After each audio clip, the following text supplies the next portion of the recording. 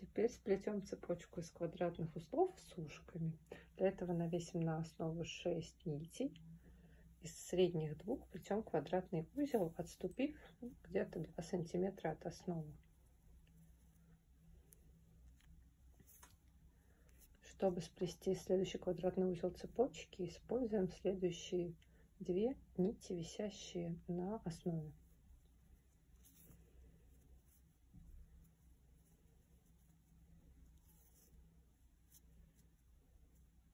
Повторяем то же самое. Плетем квадратный узел под из этих двух нитей.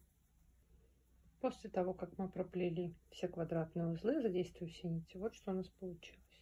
Теперь мы будем плести дальше квадратные узлы, используя вот эти боковые нити, начиная с нижней.